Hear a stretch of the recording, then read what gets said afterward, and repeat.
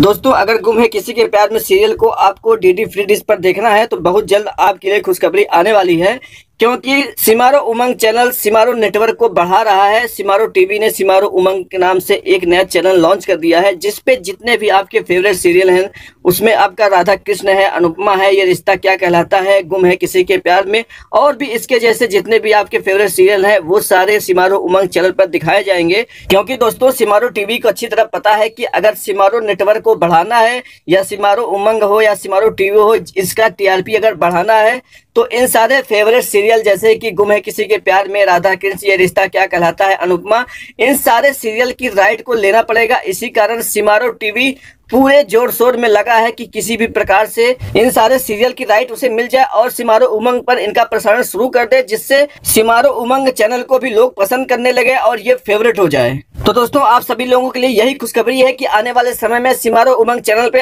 आपके जितने भी फेवरेट सीरियल हैं वो देखने को मिल सकते हैं